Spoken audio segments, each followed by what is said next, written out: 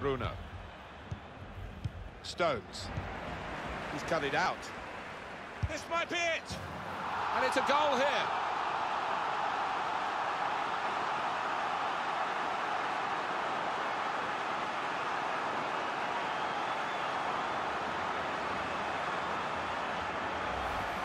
Well, they've increased their lead here, and that could just wrap up the match. Yeah, Dan, the much better team out here today, and that scoreline reflects that.